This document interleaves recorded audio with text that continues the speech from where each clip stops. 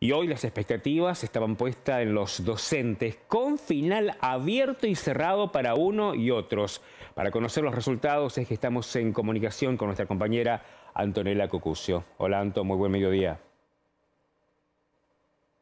¿Qué tal Eugenio? Buen mediodía para todos. Estamos aquí en la sede de ANSAFE provincial, donde los docentes votaron en asamblea en esta situación democrática que tiene el gremio, que votan durante varios días en las escuelas y por una reñida votación se llegó al rechazo de la propuesta. Un rechazo que va acompañado también de medidas de fuerza en una situación bastante particular porque los docentes privados en esta oportunidad aceptaron, también con diferencia, ya vamos a hablar del tema, pero aceptaron la propuesta del gobierno salarial, la propuesta de aumento salarial del gobierno, y ahora aquí ANSAFE quedó en este plan de lucha solo en cuanto a que los otros gremios, como hacías referencia en toda la introducción, aceptaron la propuesta y un panorama bastante particular por el tema de la presión por el descuento de los días de paro, cómo encarar esta nueva etapa, cómo lo ven ustedes después de lo que fue esta votación por 700 votos de diferencia, no llegaba a 700 votos. Así es, 600, buen mediodía, ¿eh? 623 votos.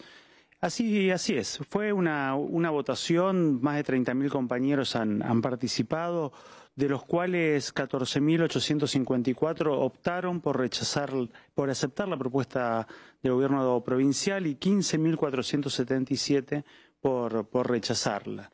Una, una votación que, más allá de la definición, creo que tuvo un denominador común en los más de 30.000 compañeros que han votado donde entendemos que la propuesta es una propuesta insuficiente, lo hemos dicho cuando salimos del ámbito paritario, ¿no? Una propuesta que contiene mucho de lo que hemos discutido sobre cuestiones pedagógicas, sobre las condiciones de trabajo, sobre el modelo educativo, pero que indudablemente en términos salariales es una propuesta que se quedó corta. Nosotros esperábamos una propuesta mejor en, en el arranque, en el mes de septiembre.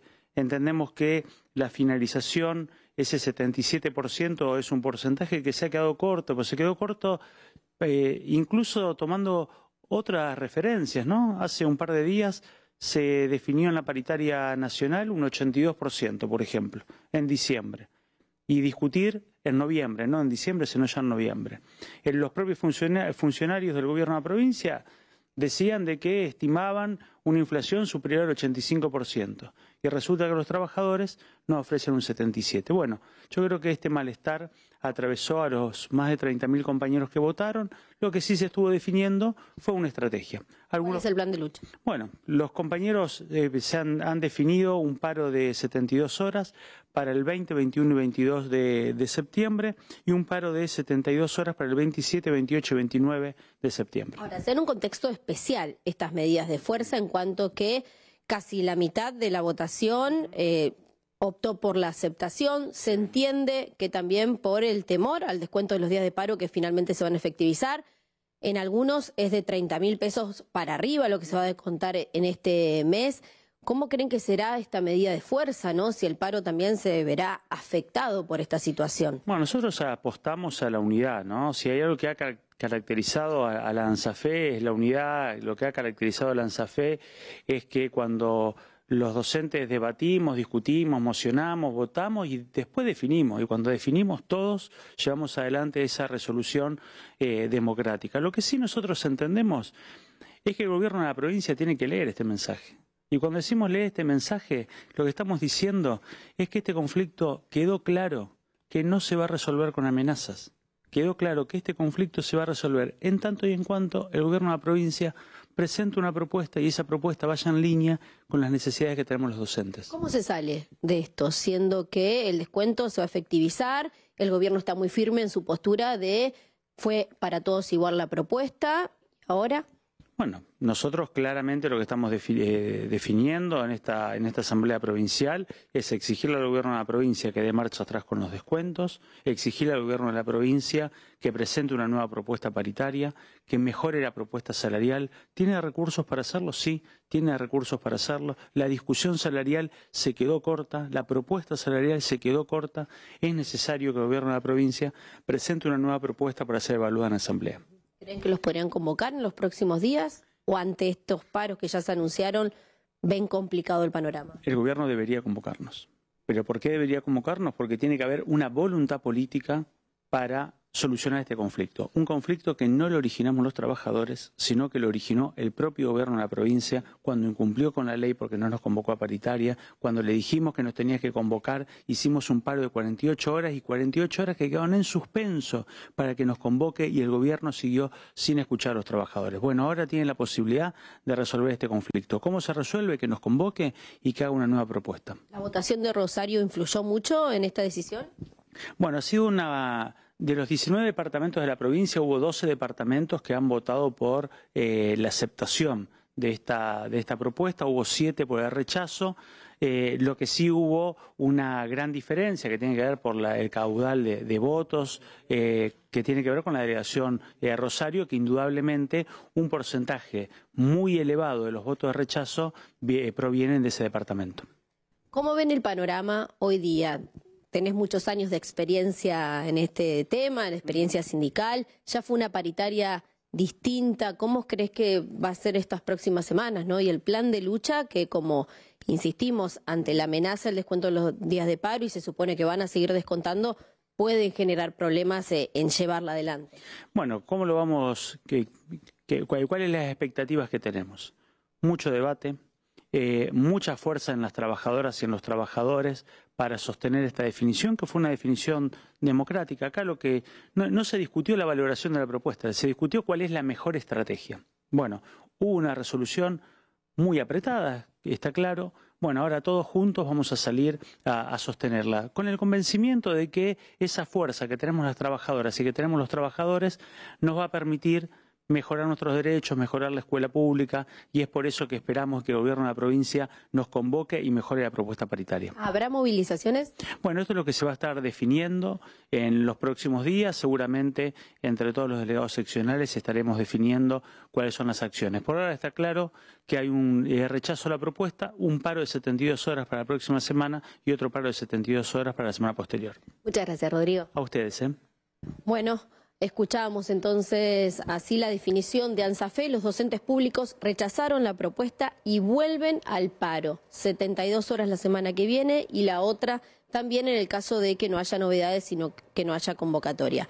¿Qué había dicho el gobierno hace pocos días nada más? Que si se rechazaba la propuesta a partir de la próxima liquidación ya se confirmaba el descuento de los días de paro, que en un docente que recién se inicia sería de unos 30 mil pesos, por lo cual es eh, esto que ellos plantean, ¿no? que fue una actitud creen amenazante por parte del gobierno en plena negociación, no dio mucho margen para un debate en ese aspecto cuando estamos en tiempos inflacionarios y el golpe al bolsillo es fuerte.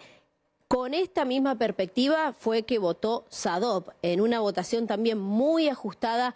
Aceptaron la propuesta, pero Pedro Ayudar fue claro diciendo nosotros creemos que el gobierno fue amenazante con lo que planteó y que muchos compañeros votan por la aceptación de la propuesta con total disconformidad para que no le toquen el bolsillo.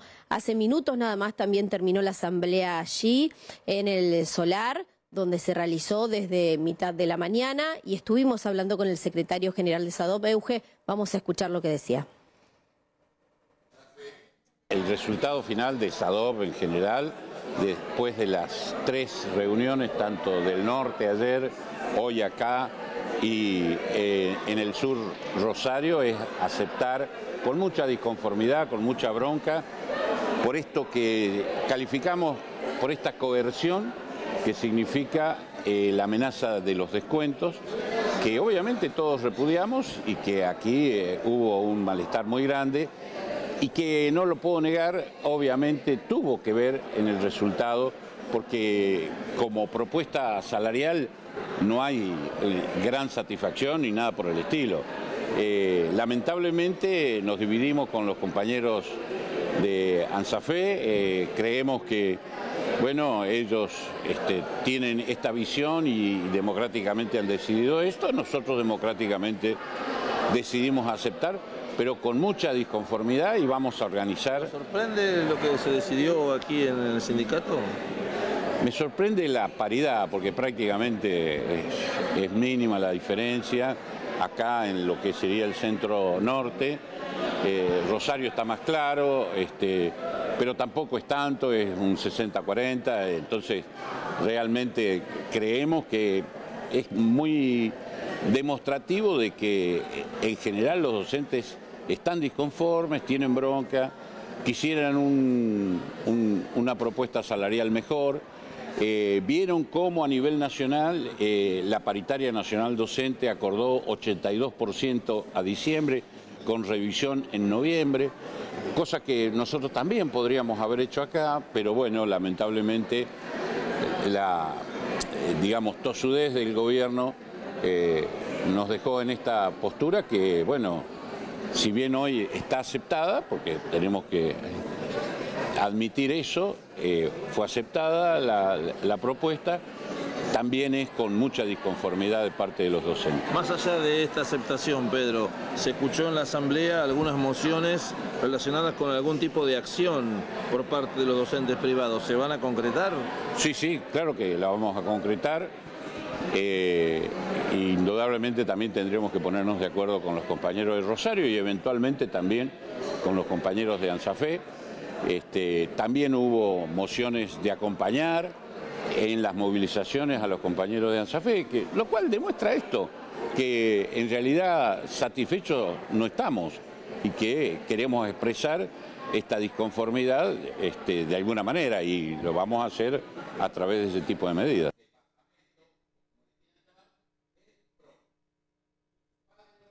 que queda es el de los docentes. Ya tenemos entendidos que, en el sistema estaba eh, cargado la posibilidad de descontar los salarios, que finalmente la liquidación final comenzaría a hacerse hoy viernes. Y hay que ver la reacción que va a tener el gobierno si ante estos anuncios va a llamar a convocatoria de paritaria con los docentes el lunes, el viernes, porque generalmente cuando hay medidas de fuerza no se hace. Así es, por eso también preguntábamos el tema del plan de lucha, ¿no? Cómo se había organizado y de qué manera creen también la adhesión. Vuelvo a insistir con eso, ¿no? A un docente hoy en día que le descuenten 30 mil, 40 mil pesos y si tiene dos cargos, eh, obviamente eso se duplica, ¿cómo lo va a afectar en su economía familiar? este mes. También eso va a ser realmente algo que se va a tener muy en cuenta, supongo, en cada familia, en cada hogar, para ver si se adhieren o no a las medidas de fuerza que habrá. Se espera una declaración del ministro de Trabajo que estaría por emitirse un comunicado oficial. Veremos si eso se da antes de que termine el noticiero. Pero bueno, en el momento es esta la situación. Por una votación muy, muy acotada, ANSAFE decidió rechazar la propuesta. SADOP la, aceptó, pero también te digo, nosotros estuvimos en la última media hora de la Asamblea mucha discusión cuando ellos habían aceptado y se enteraron que ANSAFE rechazó. Eh, se alargó bastante porque todos pidieron la palabra para decir que no iban a dejar solos al gremio de los trabajadores estatales en cuanto al sector docente, que si hacían movilizaciones, lo dijo el propio Bayugar, iban a acompañar, ¿no? Esto ha dividido también de alguna manera la situación, por eso se alargó más de lo que se esperaba la, asamblea en SADOP, pero bueno, la situación está planteada de esta manera. Hay que esperar a ver qué reacción tiene el gobierno con el gremio de los docentes públicos. Comúnmente, nunca que hay medidas de fuerza se convoca, hay que ver si convocan antes de que arranquen las medidas de fuerza pero todo eso dependerá de las declaraciones que lleguen por parte del ministro de Trabajo o algún otro funcionario que se refiera a este hecho. Por lo pronto, la semana que viene en las escuelas públicas de toda la provincia, durante tres días, no habría clases. Anto, gracias por el contacto. Un abrazo grande. Gracias, Eugenia.